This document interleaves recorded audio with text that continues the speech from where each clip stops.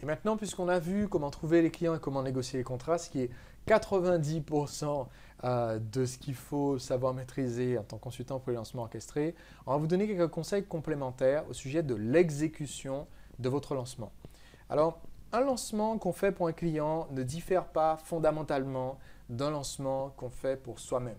Dans l'exécution du lancement, c'est le même principe et tout ce que vous avez appris dans la formation lancement orchestré continue à s'appliquer dans cette situation vous êtes en train de lancer pour un client. C'est le même principe, vous allez faire un coup de semonce, sonder le marché, faire les vidéos, faire une offre irrésistible, faire un œil du cyclone. Ici, ce qui va changer surtout, c'est une question majeure qui est une question de communication. Et David, je voudrais te euh, laisser expliquer un petit peu ce qui est essentiel, ce qui est très important. D'ailleurs, pourquoi est-ce que la communication est aussi importante et euh, ce qu'il faut veiller à communiquer avec le client? Donc par rapport à, un lancement orchestré que vous faites pour vous-même, euh, effectivement, euh, là, si vous, vous, positionnez comme un consultant en lancement orchestré, eh bien, il faudra que certaines opérations soient réalisées par votre client. Donc il faut que ce soit super clair pour votre client de ce qu'il a à faire. Donc euh, il faut bien arriver à une clarté, une clarté absolue et quand, vous lui envoyez des éléments, dites-vous que voilà, il faudrait qu'un enfant de un enfant de 15, de, 15, ans comprenne ce que vous lui demandez de faire. Voilà. Donc moi je suis toujours très précis dans euh, qu'est-ce que je veux qu'il fasse, euh, quel jour, à quelle heure, qu'est-ce que j'attends de sa prestation. Voilà. Donc à chaque fois je communique vraiment avec le maximum de détails. Euh, je définis un planning euh, global du lancement, ça c'est très très important pour connaître donc euh, bah, la sortie des vidéos, quand est-ce qu'il y aura les, webinaires, mhm. quels sont les, on va dire les, événements clés du, lancement. Alors à noter que pour un lancement avec des clients, il faut s'y prendre le plus longtemps possible à l'avance. contrairement à un lancement qu'on va faire tout seul, où on peut se réveiller le mardi soir et dire oula, j'ai pas fait la vidéo de vente pour demain et euh, se débrouiller pour faire une vidéo avec PowerPoint euh, euh, au milieu de la nuit. quand on a un client, il faut prévoir le double du temps pour tout et le temps en plus de communication de ce qu'il doit faire et qu'il livre ses, travaux finis. Donc ça c'est important quand même. C'est pas quelque chose qu'on peut faire en s'y prenant la dernière minute. Et globalement, je dirais de pas que le minimum, ça serait deux mois, hein, je dirais, entre le moment où vous avez votre l'accord avec votre client et le moment où vous faites votre lancement orchestré.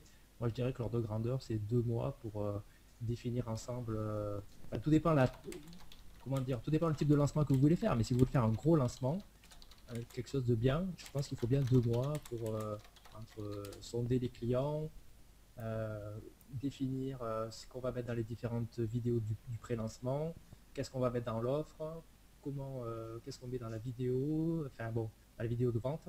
Donc euh, ouais, moi je vous conseille deux mois. Je sais pas toi Sébastien, qu'est-ce que qu'est-ce que tu conseillerais? Je pense effectivement que c'est raisonnable de, se donner du temps d'avance, d'autant plus que si le client n'a jamais fait de lancement et qu'il a une liste et tout, il va falloir un peu euh, réchauffer sa liste parce qu'en général ça fait longtemps qu'il n'a pas communiqué dessus. Il va falloir changer un peu ses communications un peu avant le lancement. enfin pré pré lancement coup de semence, annoncer qu'il y a quelque chose qui vient, commencer à les sonder et tout. Donc, ne euh, faut pas se dire, euh, on signe le contrat le 1er janvier et euh, le 10 janvier, le pré-lancement démarre. C'est pas réaliste. Mm. C'est vrai qu'il faut aussi prévenir le client, il faut le prévenir qu'on a besoin de sa disponibilité et qu'il y aura des actions de dernière minute. Donc, ça veut dire d'un côté lui dire, on a tout prévu à l'avance, il faudra faire ça, ça, ça pendant le lancement. Et en plus lui dire, écoute, c'est peut-être les deux semaines les plus importantes de ton année, donc j'ai besoin que tu sois disponible. Euh, il se peut qu'à la dernière minute, je te dise, il faut faire une vidéo parce que les prospects ont posé une question et qu'on n'a pas couvert ça euh, dans, dans, le pré-lancement. Euh, et donc, voilà, il, faut que tu saches que il est possible que tu ne dormes pas pendant ces trois semaines, ces deux semaines de lancement ou ces trois semaines de lancement. Et c'est normal et c'est pour la bonne cause. Il faut qu'il le sache à mmh. l'avance. Et je, je, suis d'accord avec David sur le point que il faut vraiment Idéalement, vous avez un client qui sait tout faire, c'est-à-dire un client qui sait faire une vidéo, un client qui sait faire une page, un client qui sait faire un mail. Mais ça n'empêche pas qu'il faut quand même lui expliquer de façon à ce qu'il puisse pas se tromper. Il ne faut pas partir sur le principe qu'il y a des évidences du genre, si je lui dis envoie un mail à tes prospects, c'est pas évident pour le client qu'il faut qu'il exclue les personnes qui ont déjà acheté le produit. Tant que je ne lui ai pas dit, il n'y a pas d'évidence. Donc, il faut vraiment envoyer le détail, comme disait David. Comme si, pour qu'un enfant ne puisse pas se tromper, s'il donnait à, son fils de 11 ans euh, la main et que ce soit son fils qui doit faire parce que lui il est, trop occupé, il faut que le fils de 11 ans puisse faire ce que vous lui avez dit de faire euh, de façon impeccable. Hmm. Donc, euh, première différence, effectivement, c'est la communication. Deuxième grosse différence, c'est l'état d'esprit du client. Moi, c'est quelque chose que je surveille en permanence.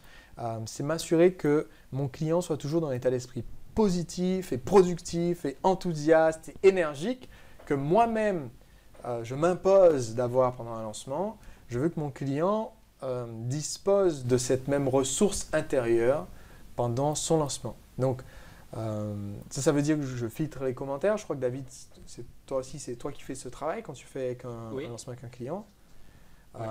donc, c'est moi qui, fais, qui lis les commentaires, qui transmets à mon client les infos. Donc ça veut dire, ça veut pas dire que je garde que je vire tous les commentaires négatifs et je dis à mon client tout va bien, tout est tout est positif.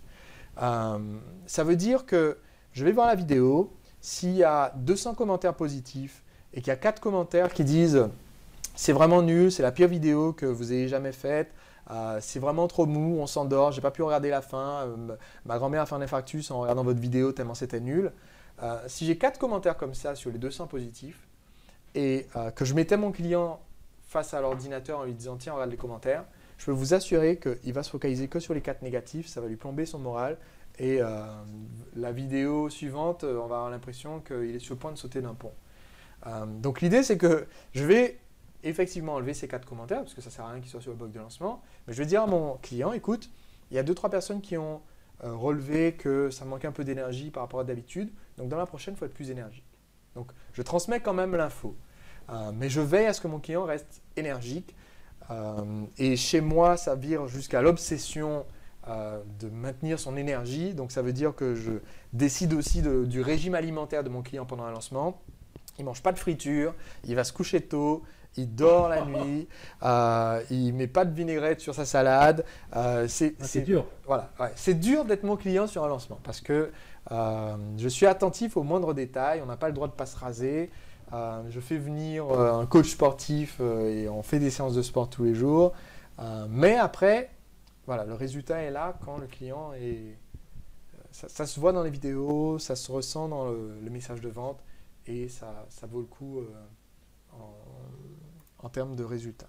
Donc voilà, ça c'est les deux différences essentielles par rapport à un lancement exécuté en interne. Tout le reste, c'est comme un lancement que vous faites en utilisant la méthode de lancement orchestré. Il faut juste prendre en compte qu'il y a une autre personne ce qui une grande partie du résultat repose et que vous devez veiller à son bien-être et vous devez veiller au fait qu'elle comprenne tout ce que vous avez à, lui conseiller, qu'elle applique tous vos conseils, euh, qu'il garde un état d'esprit positif et une attente positive sur le lancement. Maintenant, on va parler de... Technique, euh, un petit, point, euh, un petit point technique, euh, Sébastien, pour compléter ça. Euh, je ne sais pas si ça peut aider ceux qui nous écoutent.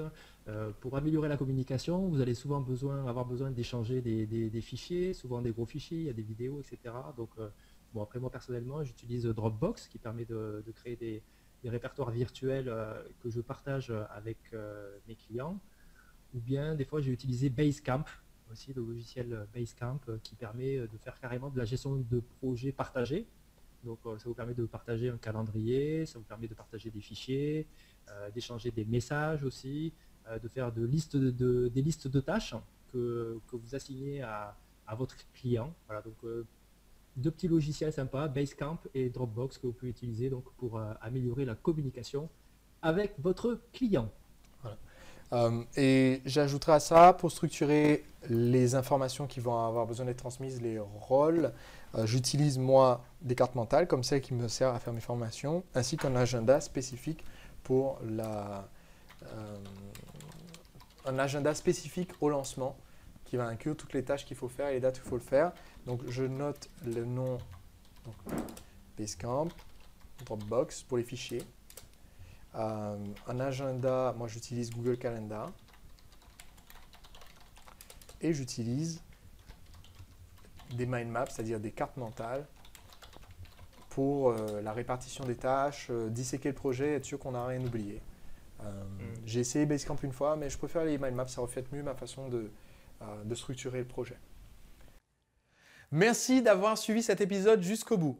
Pour avoir des compléments aux épisodes que je publie de mes podcasts audio et vidéo, je vous encourage à aller sur entrepreneurlibre.com slash blog. Sur mon blog, je partage des articles de fond, mais aussi de nombreuses réponses aux questions de mes euh, abonnés, des internautes euh, et des futurs entrepreneurs libres comme vous. Donc si vous allez simplement sur le blog entrepreneurlibre.com slash blog, vous pourrez retrouver l'ensemble de mes contenus ainsi que les articles de fond et vous abonner pour recevoir l'ensemble gratuitement.